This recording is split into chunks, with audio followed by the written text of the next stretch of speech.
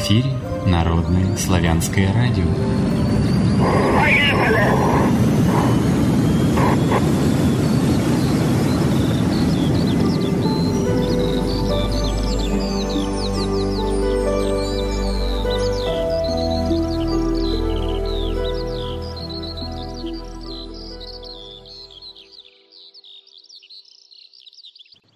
Всем здравия, с вами Народное славянское радио, Алексей Орлов. Сегодня у нас по одному из современных календарей 26 апреля 2017 года среда, по одному из старинных 15 день месяца посева наречения 7525 лета четверик.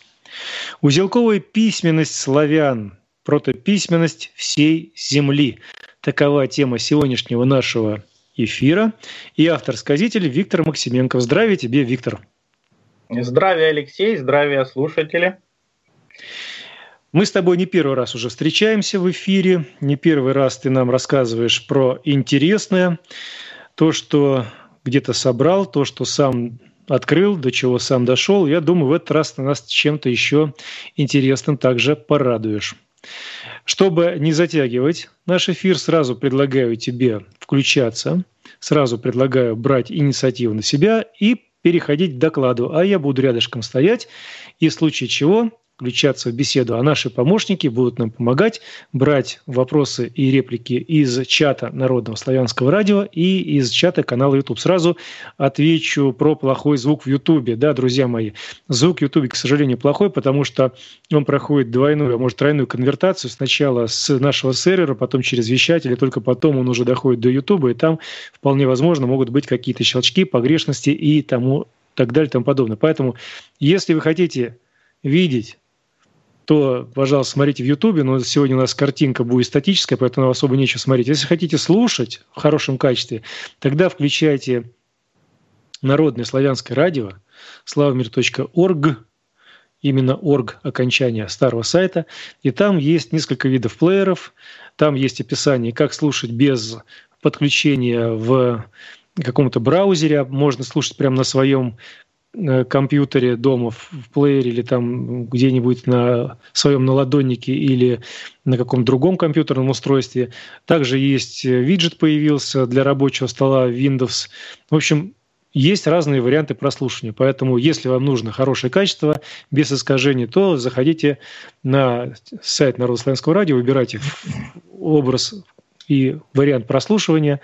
Ну, а если вы еще и хотите задавать вопросы, то, пожалуйста, заходите в чат Народно-славянского радио, там несложная регистрация, и можете также принимать участие в эфире через задачу вопросов, через э, общение с друзьями и через задачи, задание своих реплик.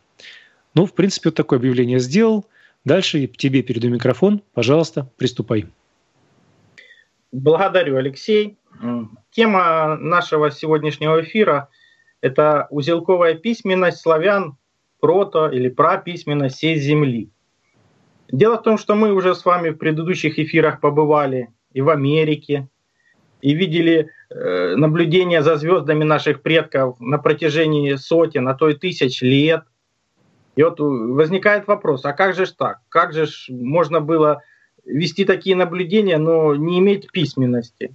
Возможно ли такое вообще, в принципе, путешествовать между континентами – иметь развитую культуру, иметь развитую э, традицию наблюдения за звездами, за природой и не иметь никаких письменных источников, а все передавать только на словах или как-то по-другому. Э, в школе и в институте нам об этом рассказывают почему-то очень мало, рассказывают какие-то небылицы – о том, что это произошло-то всего меньше, чуть ли не тысячу лет назад, нас научили писать и наших предков, и что ничего подобного не было отмечено. Поэтому у каждого нормального человека возникает вопрос, а так ли это на самом деле было?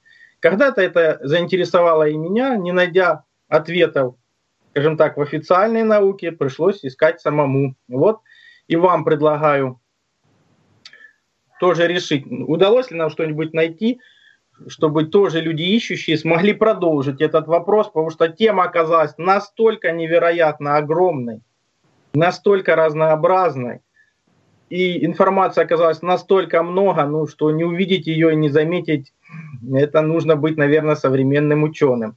А для того, чтобы информация все-таки лучше воспринималась, э, я сразу хочу традиционно ответить на вопрос, который всегда возникает. Ее можно письменном виде, всю информацию эту я стараюсь излагать в статьях на сайте Конт.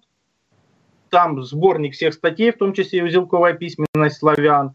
Найти там можно это все очень просто. Мы, я надеюсь, Алексей при эфире даст в чате славянского радио эти ссылки на эти статьи. Плюс э, видите просто Виктор Максименков на сайте Конт или на канале YouTube, они теперь все одинаково называются, вы сможете найти, сможете найти информацию либо в варианте статьи, либо в варианте видео, кому что удобнее. И можете даже лучше подготовиться к нашим эфирам, задать больше вопросов.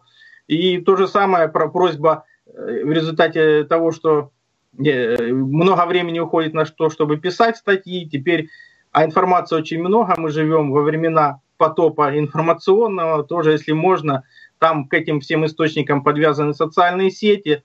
Тоже бы большая просьба людям, ищущимся и интересующим, э, давать им не ссылки на такие материалы, потому что охватить все одному человеку невозможно. И то, что, та информация, что представлена у меня, она собрана по крупицам. И я думаю, будет многим интересно ее развивать. Развивать и дополнять, потому что она оказалась огромной. Потому что все практически все письменности на Земле имеют один источник. И наука об этом источнике знает. И я думаю, мы в результате этого эфира найдем этот источник, и каждый сможет себе это подтвердить и двигаться дальше. Например, но там есть еще, на этом же сайте Конт есть еще две статьи, которые вроде бы не о письменности. Это статья про древнейшие музыкальные инструменты, которые возрастом около 40 тысяч лет. И статья про неимоверный Алтай переписывает историю человечества. Найдены артефакты возрастом 50 тысяч лет и более. А зачем же эти статьи я создавал? Они, они не выбиваются из общего плана. Почему? Потому что и в статьях про древнейшие музыкальные инструменты, и в статьях про неимоверный Алтай, где найдены артефакты возрастом 50 тысяч лет, там есть главная соль этих статей, главная ниточка, которая их всех соединяет. А, и она состоит в том, что древнейшие музыкальные инструменты, они не отличаются по своему строению от современных. То есть люди 40 тысяч лет назад, да, создавали из других материалов, и это были биологические кости птиц, бивни мамонтов, Проходит 20 тысяч, это 20 тысяч лет проходит, мы попадаем в Мезин, в котором мы, календарик часто я вспоминаю из Мезина, но в Мезине были найден целый оркестр музыкальных инструментов. Там, кстати, приводится реконструкция с этих музыкальных инструментов, которые вы можете послушать. Послушать ту музыку, которую наши предки слушали 20 тысяч лет назад. Еще более неимоверным является Алтай. Алтай там найдено древнейшее ювелирное украшение возрастом минимум 40 тысяч лет. Почему именно эти э, находки я привожу? А потому что они на протяжении 5-10 лет изучались не нашими даже учеными. Они были отправлены в Англию к нашим заклятым друзьям. Эти наши заклятые друзья их годами крутили-вертели. И это и музыкальные инструменты, которые находились и в Германии, и в Мезине. И вывод однозначен. Всем этим находкам минимум 40 тысяч лет. Минимум. Ну, сокращали, как говорится, как могли. Наши ученые дают тому же алтайским находкам, они дошли до уровня 50 тысячелетней давности. И нам даже сейчас не сильно интересно, что на Алтае были найдены останки нового вида человека, который им удалось проследить вплоть до Америки. Ну, мы уже ответили на эти вопросы в эфире «Белые боги в Америке». Нас интересует больше другое. В том же Алтае, в слое, которому более 50 тысяч лет, найдены иголки. Иголки эти неотличимы от современных. Они э, каким-то чудом сохранили даже некоторую остроту. Но если есть иголочка, значит есть и ниточка. То есть Алтай отодвинул швейное искусство в мире э, еще более чем на 20 тысяч лет. Потому что ранее считалось, что швейные технологии появились ну 20, ну максимум 30 тысяч лет назад, но никак не 40, не 50. А что же нам дает это? Причем тут узелковая письменность? А дело в том, что тоже мы раньше обращали внимание на то, что наши предки ранее использовали большие возможности своего головного мозга.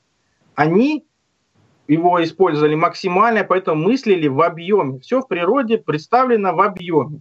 Мы даже сейчас не будем говорить про многомерность многополярность. Это уже, как говорится, сказочный уровень. Нам хотя бы понять, если мы сможем понять наших предков, как они жили и передавали информацию много-много тысяч, а даже десяти, десятков тысяч лет, мы тогда сможем четко и ясно проследить по всему миру эту единую технологию, которая в некотором видоизмененном виде всплывала в разных частях мира, и хоть она была трансформирована, но узнать ее возможно и понять ее источник, который содержит все смыслы. А это именно узелковая письменность славян, потому что нить, нить – это и есть ключевой образ мировой мифологии.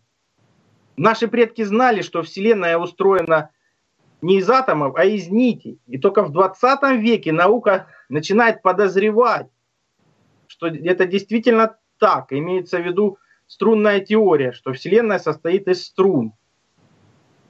Чем же еще нам это интересно? Дело в том, что археологические находки того же, э, те же сделанные под Воронежем, в статье «Узелковая письменность» я привожу – это фигурка матери Земли. Культ матери Земли был и в Мезине, и там, где древние музыкальные инструменты.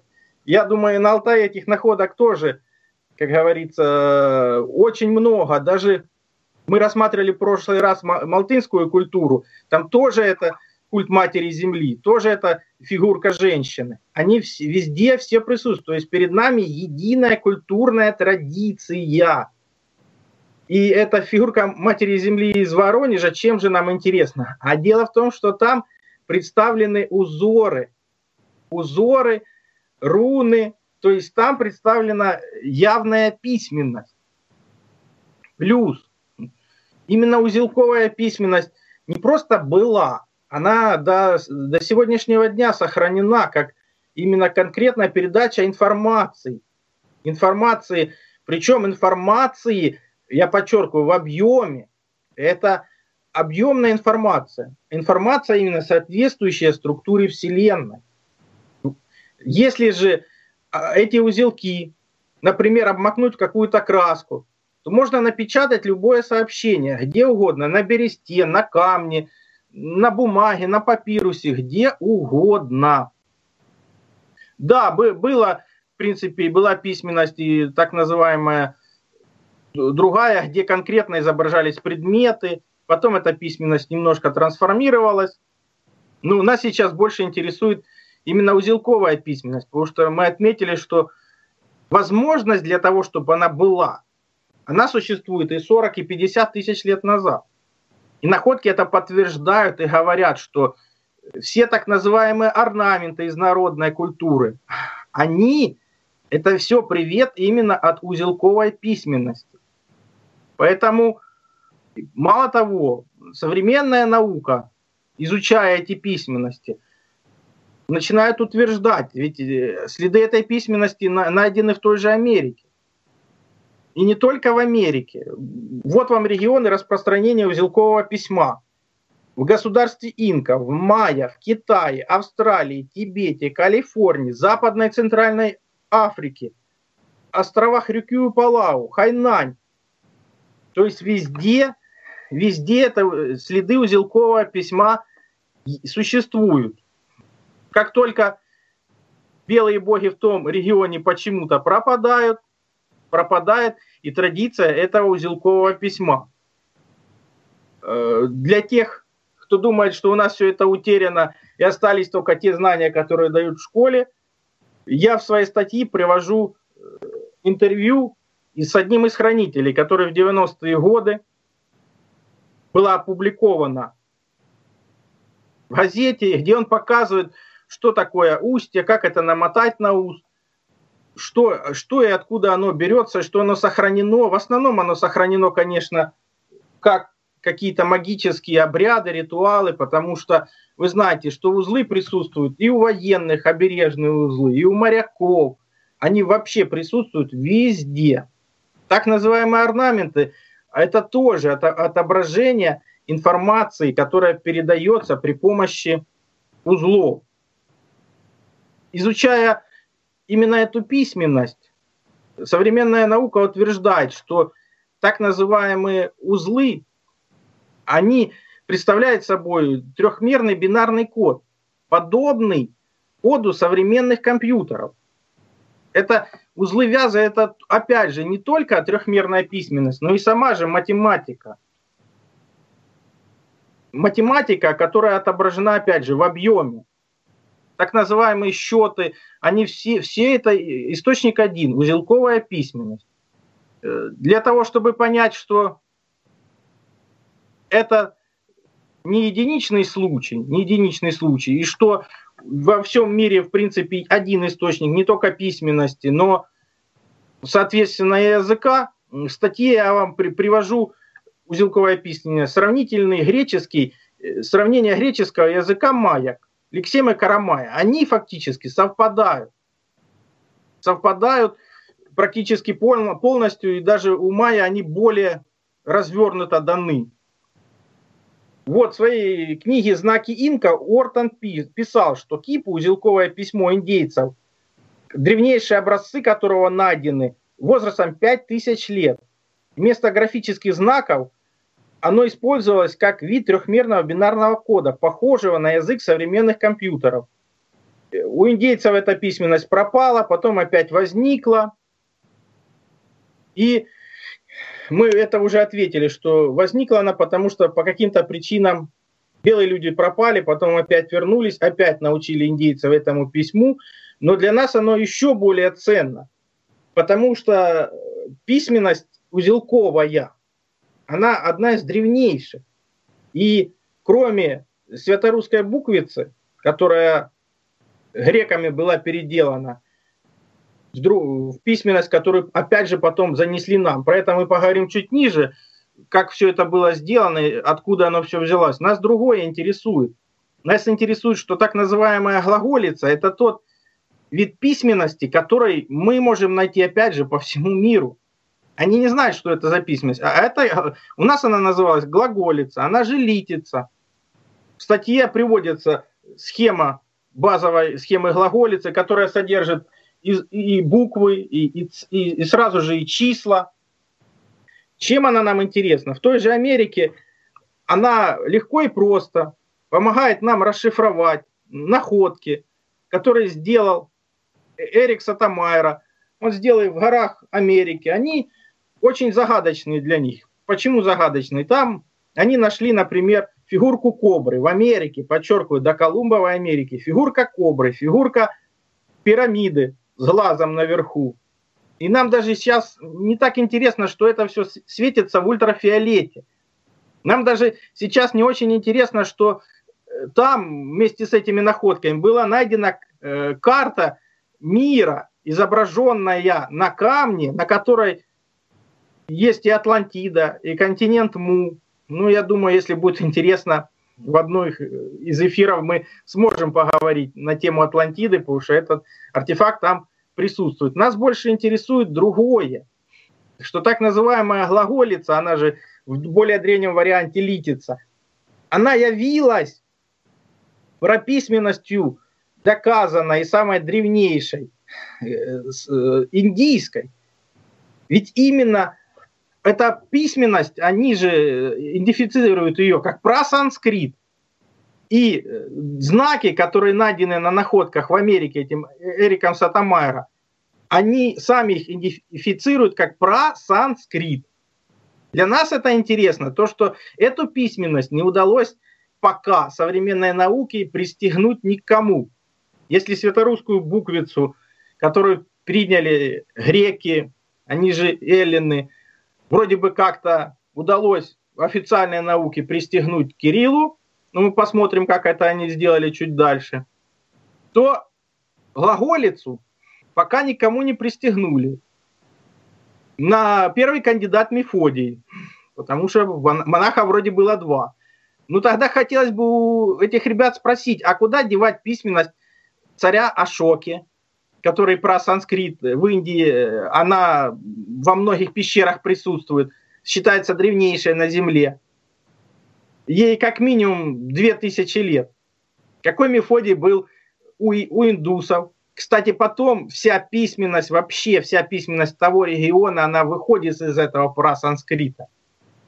То же самое, что мы отмечали, что наука прекрасно знает, что как минимум 70, 45% э, населения Земли, как минимум, говорят на языках индоевропейской группы. И письменность эта, которая у них же этих населения, она отражает ту же письменность, именно узелковую письменность. Что, что еще нам интересно?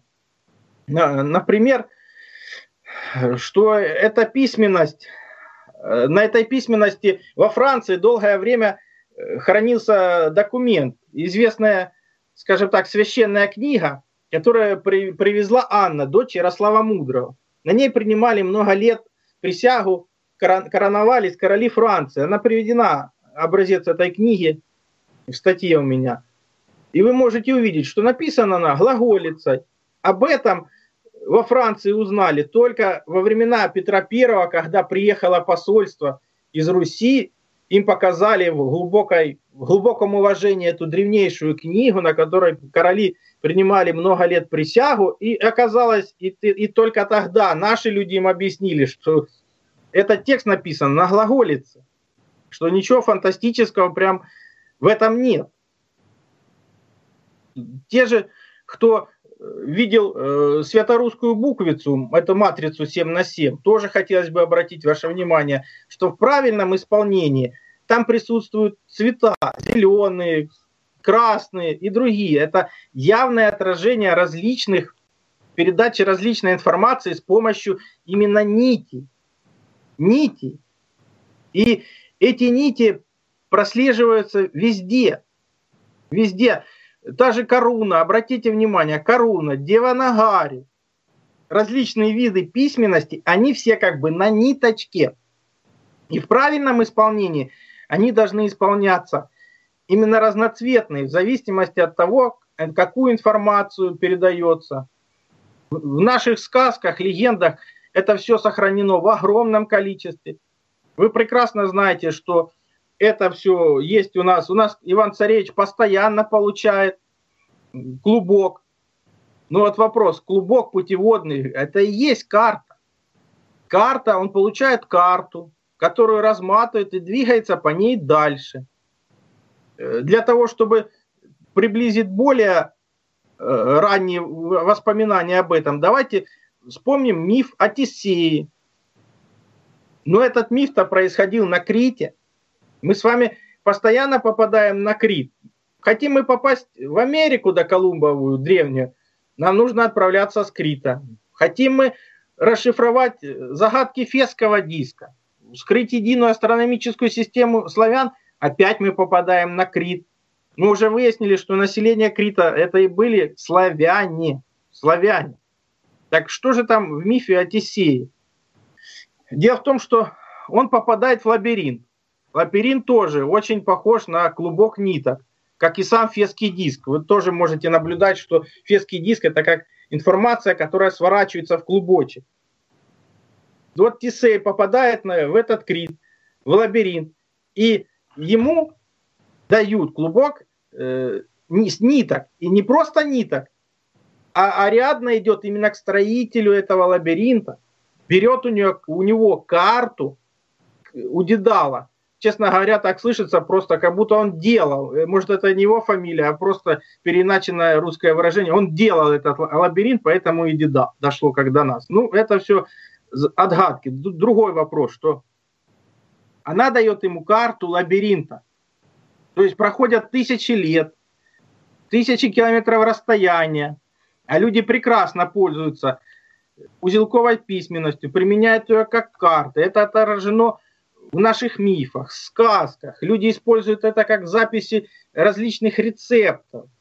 То есть информации об этом огромное количество.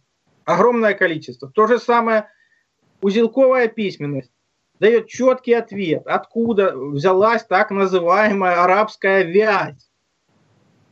Арабы, ну, тех, которые сейчас так называют, они всего лишь переняли на себя частично это узелковое письмо воинов.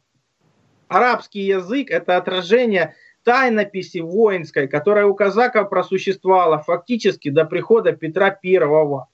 Об этом есть много источников, но я повторяюсь, информации настолько много, что она просто вся не умещается в статью, хотя сама статья самая большая из всех мной написанных, и она даже в озвучке заняла более, больше часа, то есть огромное количество информации.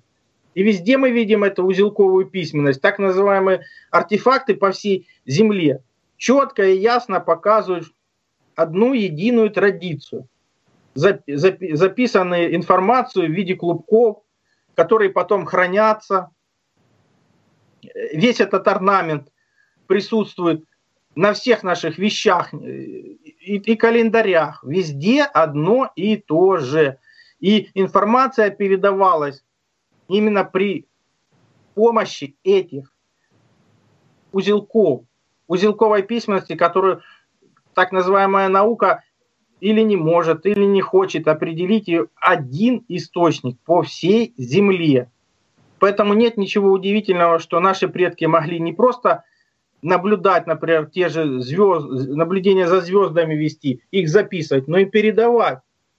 Потому что сами эти нити, они были наиболее ценным то, что было в каждом роду, потому что на них писалась информация рода, информация вообще всего, что было доступно нашим предкам. В статье приводятся примеры скандинавских рун. Опять же, все руны, они на ниточке скандинавские. Приводится кельтское агамическое письмо, оно тоже на, на ниточке. Вы можете увидеть коруны, они все на ниточке и все они разноцветные, то есть явное отражение того, что все, вся письменность вышла именно из узелковой письменности. Приводится индийское письмо Брахти, Брахме в статье «Узелковая письменность». Она с некоторыми изменениями сохранилась до сих пор. Деванагари произошло от Брахми. Древнейшие источники мира э, на этом записаны, та же Ригведа. Что, что еще хотелось бы отметить? Но проходят тысячелетия, но эта письменность не забывается. Те же скифы, которым они имеют распространение, в принципе, на том же жизненном пространстве, что и мы. Фактически от Японии до Англии, от Египта до Северного моря, имеют потрясающую, золот... они делают потрясающие золотые изделия, но наука от чуда отказывает им в письменности. Отказывает им в письменности, несмотря на то, что те же скифы, они наши прямые потомки, и в курганах находится много вещей, на которых присутствуют рунические надписи. Присутствуют другие предметы, которые не, не отражают эту письменность, именно письменность узелковую. У самих скифов воинская традиция, которая досталась и нам, она была однозначно. На кнут записывалась информация в виде узелков, чтобы враги не догадались. Потом э, любой посланник скакал своему командиру или ему туда, куда его направили, там этот кнут, опять же, на правильное устье нанизывался, его читали как секретное сообщение.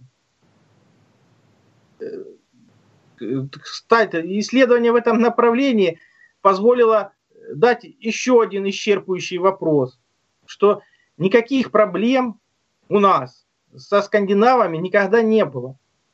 Скандинавы и мы – это единый народ.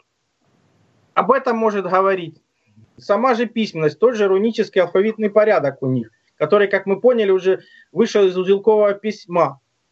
Перуни Стиар НБИ. То есть это первые знаки письменности так называемых неизвестных скандинавов, которых мы почему-то приглашали на царствование, опять же, неизвестно почему, содержится упоминание Перуна.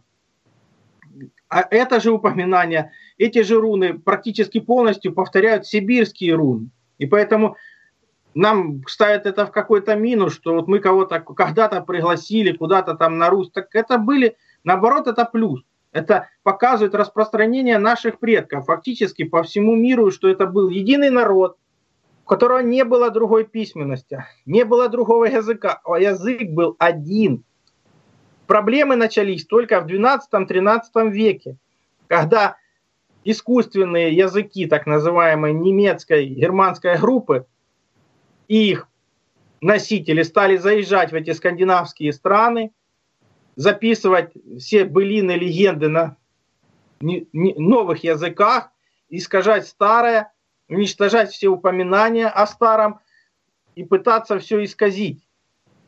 Это им практически удалось, но все равно остались эти артефакты письменности. В статье они приводятся. Это поминальная речь про Карлоса XI, которая написана по-русски, но только уже латиницей. Хотелось бы обратить внимание то же самое на ту же латиницу. Латиница в прошлом это был язык лекарей. Он и сейчас, в принципе, считается мертвым языком, но лекари его-то учат все равно.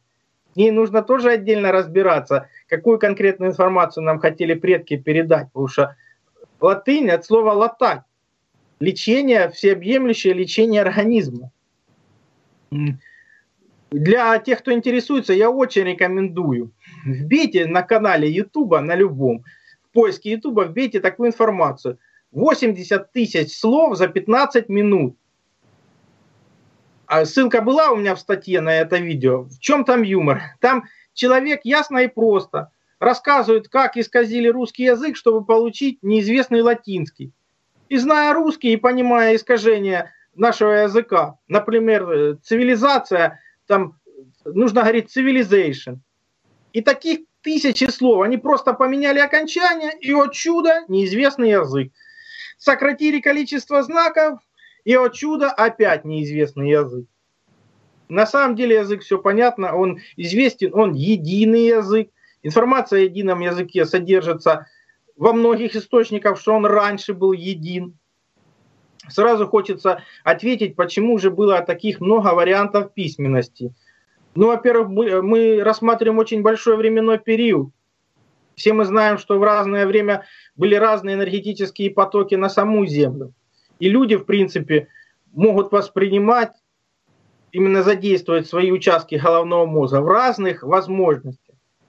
Поэтому чем ближе к нашему времени, тем письменность становилась все бедней, все менее выразительной, некоторая часть терялась, тем более если речь идет о простых народах. Если речь идет о, о народах, скажем так, которые нач- находились в начале своего развития и находятся и сейчас. Поэтому было огромное количество письменности, но повторяю, источник у них один. Источник у них один, это сама Вселенная, ее основа. В конце статьи вы можете посмотреть не более 100 тысяч лет. Э, она представляет собой, представлена теми, кто дожил до нашего времени, сохранил ее и теперь пытается нам на ее напомнить для того, чтобы мы смогли ее развивать. Ну, конечно, тех, кто способен ее воспринять, потому что все-таки 100 тысяч лет тогда и сейчас люди чуть разные. Хоть нам и повезло жить во времена расцвета, но энергии еще не так много, как было 100 тысяч лет назад, рассвет только начинается, но для того, чтобы понять общую картину, сейчас самый лучший вариант хотя бы начинать с письменности 7 на 7, это базовая светорусская буквица, она запускает в базовом варианте работу головного мозга человека, а если поверить источникам древности, то вообще раньше эта матрица была примерно скажем так, где-то 12 на 12 базовая. То есть там это больше 1234 базовых знака. Их еще больше, но они, как говорится, не всем пока доступны. Ну да, бог с этим. Давайте вернемся хотя бы к скифам или к грекам. Дело в том, что скифы, имея распространение там же, где сейчас, в принципе, живем мы, и даже больше, они имели свою письменность. Скифы, сарматы, все эти народы имели свою письменность. Эта письменность, она особо представлена в Черноморском регионе. Ведь наукой найдено уже больше 10 тысяч письменных источников, которые вроде бы написаны на греческом, но по-гречески не читаются. Я уже промолчу про письменность этрусков, там больше 14 тысяч надписей. А ведь этруски, опять же мы попадем на остров Крит, где тоже видов письменности огромное количество было. У них всех единая суть, это тоже, тоже узелковая письменность. Просто под разными углами, в разных моментах. Плюс наши люди использовали зачем-то зеркала в то время, может, пытались еще дополнительно зашифровать информацию. Об этом мы поговорим более в следующих эфирах, потому что там оптические технологии наших предков дают тоже огромное количество ответов. Нам бы тут хотя бы с узелковой письменностью разобраться. Э, этот эфир про оптику у нас запланирован. Здесь нас интересует другое. На что же обращать внимание? Обращать внимание именно на то, что источник у всех один. Источник один у всех. У тех же скандинавов, у египтян, у, в Крите, финикийцы так называемые, неизвестные, они использовали, например, 22 символа. Это всего лишь они использовали гласные буквы, именно с тоже светорусской буквицы, но немножко отраженные в другом цвете. И те же финикийцы, венеды, это в принципе просто разные названия одних и тех же племен. Все они это славяне, их объединяет культура, символы, письменность, язык, который только более-менее, около не менее тысячи лет начинает расходиться, забываться и потихоньку стираться другими наслоениями, специальными искажениями. Так что Венеды, очень интересная их письменность, потому что она как раз представляет узелковую вензельную письменность. Очень интересно ее изучать, информации крайне мало. Ну, я надеюсь, моя статья и работы других людей послужат для тех, кто ищет ответы на эти вопросы. Именно той точкой, которой вы сможете добавлять свою информацию, развивать, потому что вы сами видите, что наука и не может, и не хочет этим заниматься. В своей статье для того, чтобы это выразить более наглядно, я привожу примеры, выгляды, как выглядят скифские девы, как девы Этрурии, что они носят те же кокошники, физически они по виду полностью похожи на нас, письменность похожа на нас, культура наша, все единое. Причем на огромной территории. У науки же эти чудо-скифы вышли откуда-то, куда-то пропали, пытаются все время их как-то сгладить, называют разными именами, а суть одна. Это единые народы, которые жили на единой территории, оставили от себя много артефактов, которые приводятся в статье. Это и Тмук-Тараканский камень, который содержит информацию о том же древнейшем календаре. То есть продолжается традиция звездных наблюдений. Эти артефакты, между прочим, хранятся в Эрмитаже, в других различных музеях, как тот же Имезинский браслет и Ачинский жезл, и, и пластина малтинской культуры, и еще огромное количество изделий с орнаментом который вырезан на кости, нанесен на другие предметы, на дерево, но наука или не хочет, или не может изучать эти вопросы, приходится потихоньку заниматься нам, чему я вас, как говорится, и приглашаю. В статье я привожу вам пример монеты. Простая монета, наука ее идентифицирует как возрастом, ну, примерно 3000-3100 лет. Так что же на ней написано – 3000 лет назад. А на ней русскими буквами написано Васильев Сарматов. Василев Сарматов, то есть властитель Сарматов. И бог бы с ним, если бы это все. На монетке, которая 3000 лет. Но на другой стороне монеты присутствует звезда Алатырь, восьмиконечная звезда, и буквы ГФ.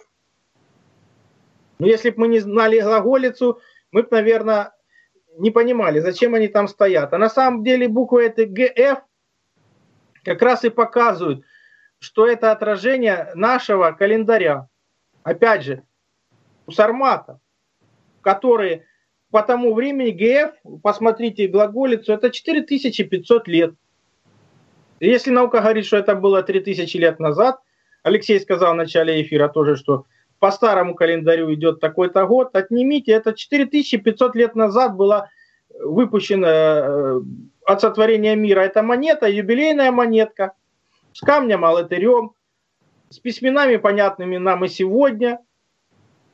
И этот календарь мы прослеживали и в других традициях, единая жреческая традиция. Там же приведены различные книги, которые печатались еще в XIX веке. Там все равно существует этот древнейший календарь, но эту же традицию надо записать и передать. Присутствует символика скифов, которая присутствует и на Мезенском календаре 20 тысяч лет назад. И сама, сама латная конница рыцарская, которая была у скифов, она просуществовала на Руси до 16 века. Там приводится золотой воин, обнаруженный в Исыкском кургане, где была обнаружена и надпись на рунице. Так посмотрите, насколько искусственно искусно это сделано. Что же нам говорит наука? Ну, вы знаете, эти все монеты и всю эту потрясающую золотую утварь делали нам греки. Не, ну если бы они сразу сказали, что гречество это искажение от жречества, все бы стало на свои места. У науки же, наука начинает путаться в показаниях, потому что почему какая-то маленькая Греция вдруг обеспечивает всю Скифию и пишет там какие-то буквы, которые непонятно, и еще в те времена, когда вроде и самой Греции это не существует. Грекам-то история отводит две с половиной тысячи лет, две с половиной тысячи лет, хотя в своих, например, статьях, что бы я ни изучал, я все время вижу, что то, что называется греками, современные ученые, они все заимствовали у соседей, а по-русски говоря, украли. Почему в Греции все есть? Потому что все наворовали, привезли все, в Греции все есть. Если эту тему дальше развивать, вспомните миф о том, как ребята спионерили за золотое руно. Они не баранью шкуру золотую украли, они украли руническую матрицу, которая и была письменность представлена. Это золотое руно существует и в золотых изделиях скифов, так называемой знаменитой пикторали, которая хранится в Киевском историческом музее. Тоже я вам для примера привожу, как могла, могла выглядеть эта матрица, которую спионерили товарищи греки. Они же ахейцы, они же хелены, их само название, которое наука почему-то не хочет упоминать. И для тех, кто видел, видел узелковую письменность славян, э, статью, они, он все поймет, потому что эта матрица, она идентична фесскому диску, идентична спирали жизни. Там основные указаны узоры, применяемые человеком на протяжении тысячелетий. Хотел бы вам прочитать даже, как точно произведена аннотация этой работы. Человек ее, скажем так, вытянул из подсознания я очень благодарен этому человеку, там дана ссылка, где я ее взял, нашел совершенно случайно, очень рекомендую послушать, что же это символизирует. Картина «Золотое руно» – это попытка через цвет и форму прикоснуться к гармонии. Композиция картины состоит из двух магических фигур, символизирующих само мироздание. Квадрат, как образ мужского начала, символ стабильности, проявленность, и круг, как символ женского интуитивного подвижного начала. Это квадратура круга.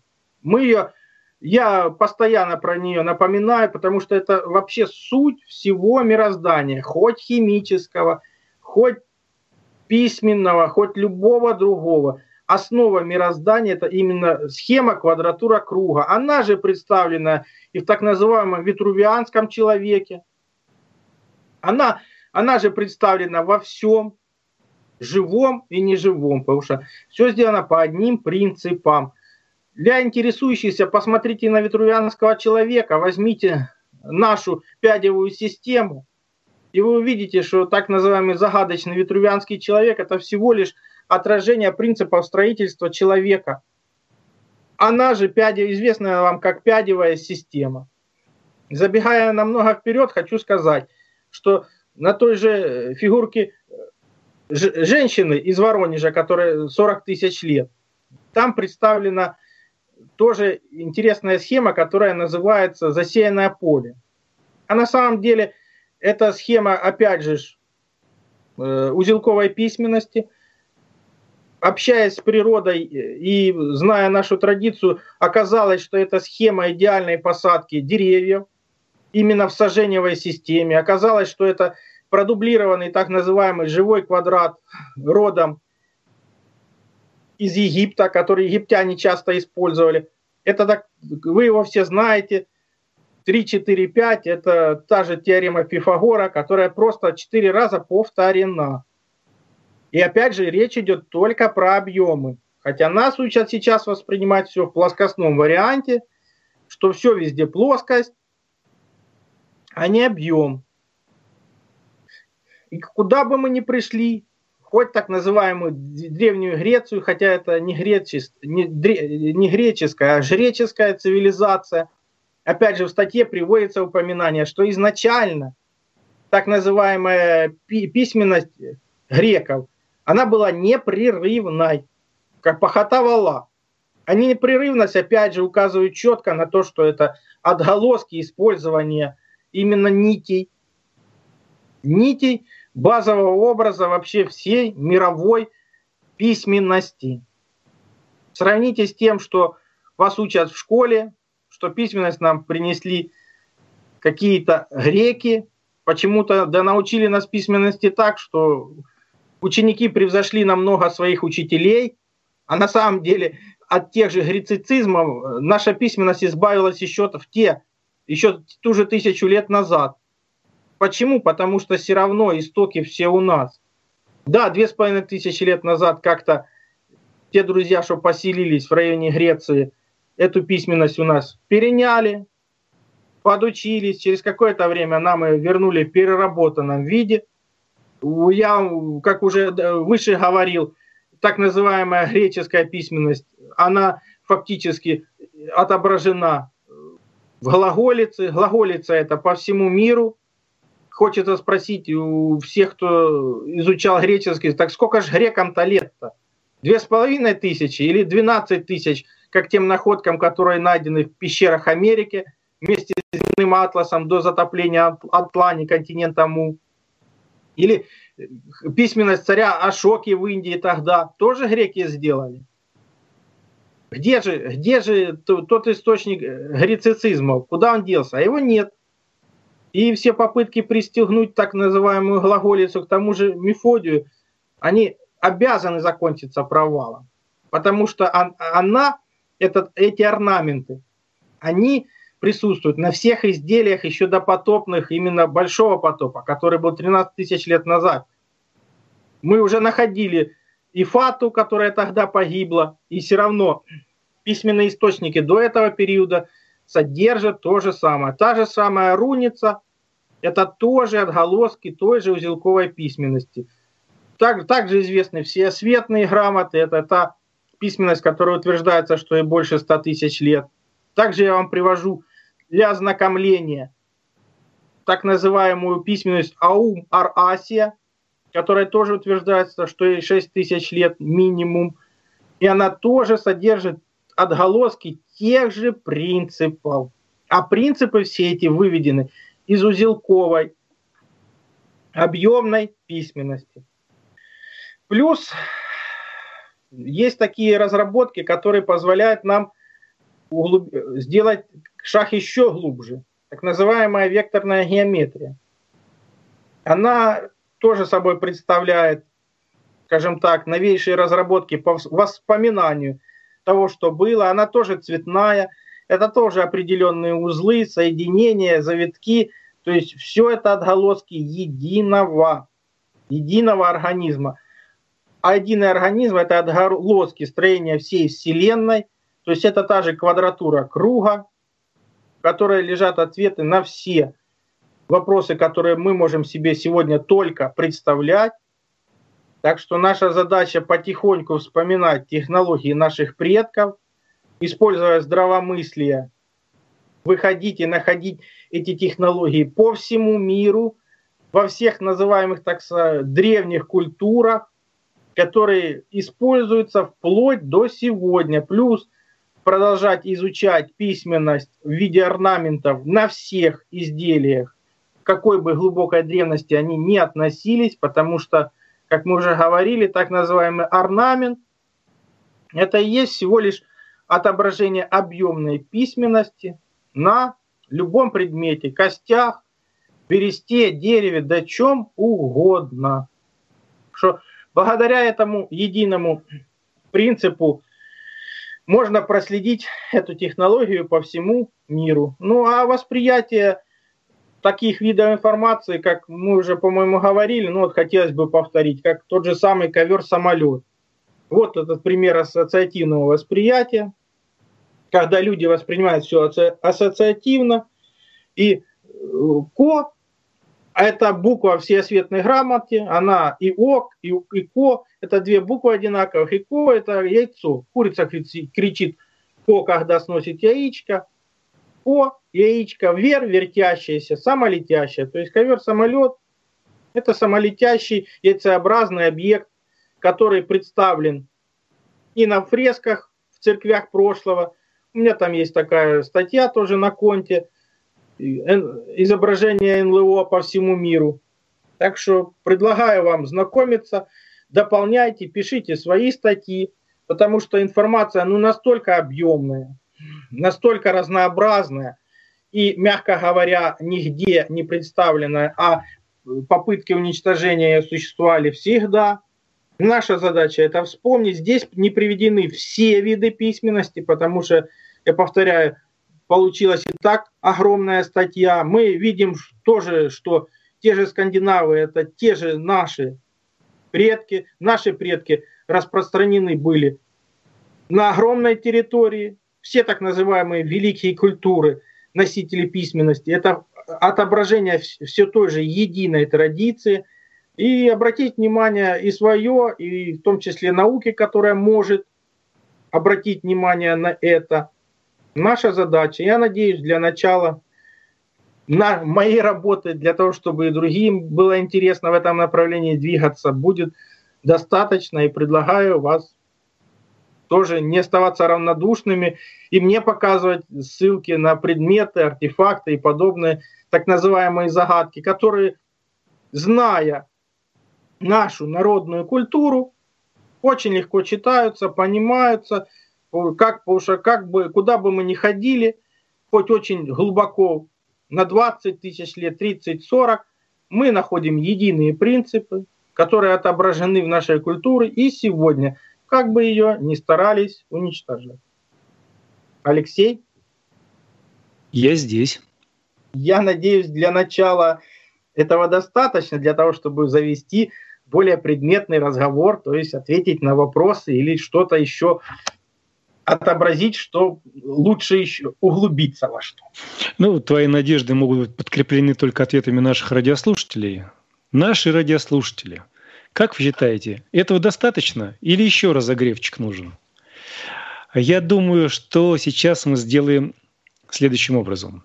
Поскольку говорили про ниточки, про узелки, то, наверное, я сейчас включу музыкальное произведение, где так или иначе про узелки говорится. И через 3 минуты 22 секунды мы вернемся в студию, чтобы начать зачитывать вопросы и реплики, которые поступали в чат Народно-славянского радио и в чат канала YouTube. Все, отдыхаем.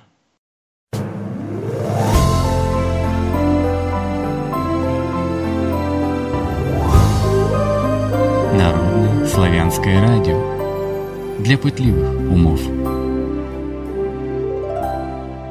Продолжение слушайте в следующей части.